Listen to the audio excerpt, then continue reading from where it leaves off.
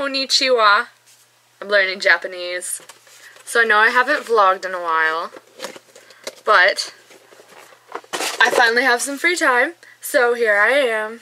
So I went to Fit Club today to set up stuff for my 12 week program. And hopefully by the end of the summer, I will be all like, boom, gonna have a Star Wars marathon tonight. My battery is about to die. So made some rice for lunch today. Pretty good. Pretty spicy. Uh, text message. no.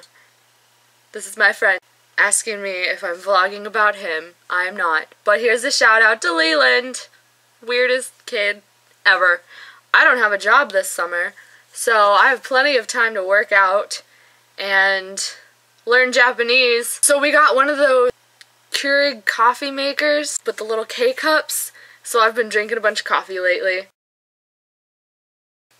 I'm supposed to be knitting my sister a scarf, or crocheting rather, but I think I'm going to end up knitting it because I'm better at that.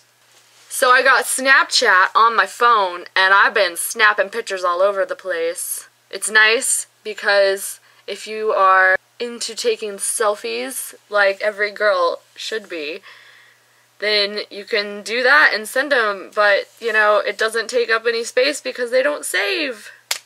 So that's nice. I'm sitting in my closet right now because I have it all cleaned out. No. Let's not talk about that. Look at this awesome mic my dad gave me the other day. MK219. I haven't used it yet. Ooh, there's buttons. Haven't used it yet, but I'm sure I will. Sayonara! Hey dudes, so I forgot to tell you what else I've been up to lately. I recorded a CD with my friend Loudmouth the other day. You should check him out right here.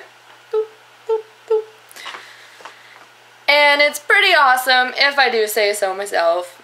So just go check it out and listen to his releases because he's cool. So yeah, bye-bye.